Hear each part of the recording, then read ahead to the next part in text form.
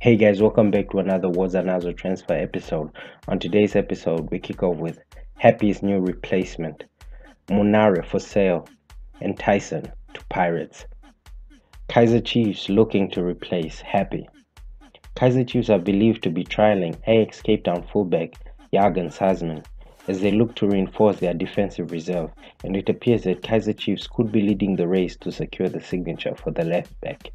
As youngster Happy Mashiane has had a few runs out in the cup fixtures but is currently ruled out with a fractured toe. The 23 year old recently received his clearance from the Urban Warriors after a clause in his contract indicates that his new deal would only kick in if Ajax were to obtain top flight status.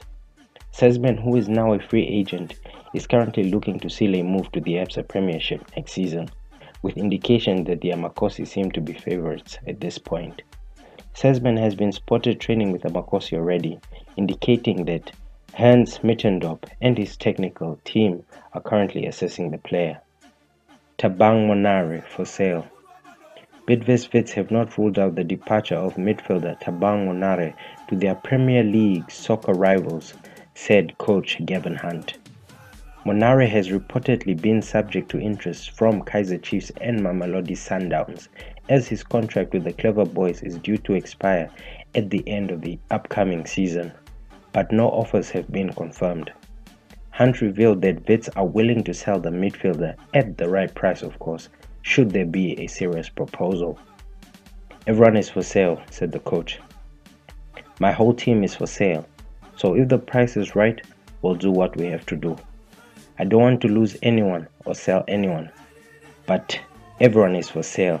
That applies to any club if you understand what I'm trying to say. I don't want to lose a player, but they are all for sale. Both Chiefs and Sundowns have not yet publicly discussed their interest for the player. We close off the episode with some Orlando Pirates news. Bucks target Tyson. It's no secret that Orlando Pirates have shown interest in the Bidvest Wits and Bafana Bafana skipper Thulani Hlatshwayo about two years ago, but it has emerged that the Buccaneers never quite gave up the chase. Tyson could be the missing piece as coach Sredojevic attempts to assemble a formidable team. With Happy Jele and Alfred Ndengane are the club's most notable centre backs and they are aging while Nyawuza and Justice Chabalala's futures are uncertain at the clubs. Could we see Hlatshwayo make the switch before the close of the transfer window at the end of August?